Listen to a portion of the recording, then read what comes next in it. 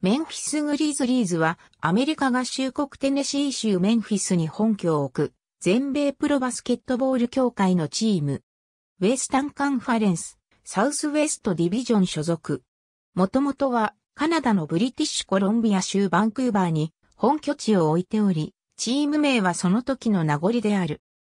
北米四大プロスポーツリーグ中、メンフィスを本拠とするチームはグリズリーズのみである。ちなみに、現在のグリズリーズのロゴを考案したのは、現在の NBA ロゴのシルエットになっているジェリー・ウェストである。グリズリーズは1995年にバンクーバーグリズリーズとしてカナダのブリティッシュコロンビア州バンクーバーで設立された。同年には同じくカナダに本拠を置くトロントラプターズもリーグ入りしており、両チームの発足により NBA は念願だったカナダ進出を実現させた。拡張ドラフトではグレッグ・アンソニー、ブルーエドワーズらベテランを中心に指名し、チーム初のドラフトではブライアント・リーブスを指名した。初期のグリズリーズを率いたのは、シャリーフ・アブドゥル・ラヒムやマイク・ビビーなどの若手選手だったが、勝ち数は20以下、負けは60試合以上という苦しいシーズンが続いた。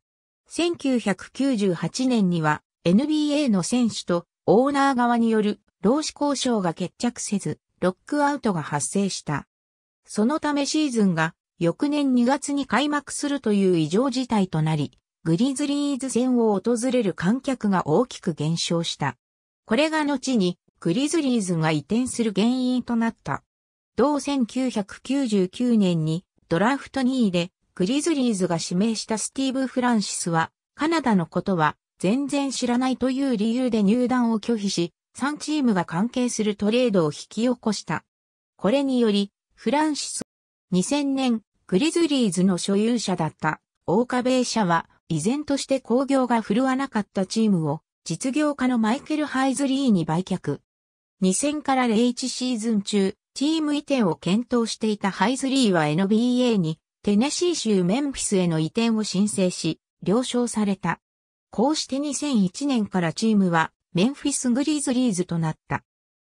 メンフィス初年度の2001から02シーズンに先立ち、グリズリーズはアブドゥルラヒム、ビビをトレードに出し、パウガソル、シェーン・バティエを、パウガソル2001から2008年シェーン・バティエ2001から2006年ドラフトでジェイソン・ウィリアムスをトレードで獲得し、開幕に備えた。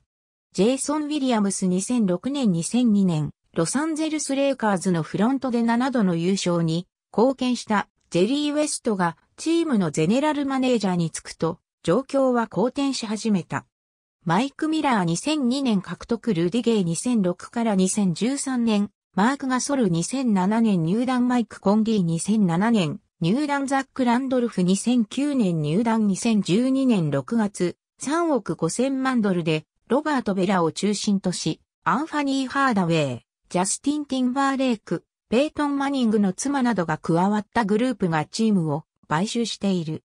ノート、勝ちイコール勝利数、負けイコール敗戦数、パーセントイコール勝率太文字、殿堂入り選手、優勝時に在籍した選手、在籍時に MVP を獲得した選手、偉大な50人、渡邊雄太メンフィスグリズリーズのチーム記録、P マニングズマ、NBA グリズリーズ買収メンバーの一員に、NFL ジャパン2012年10月20日閲覧。ありがとうございます。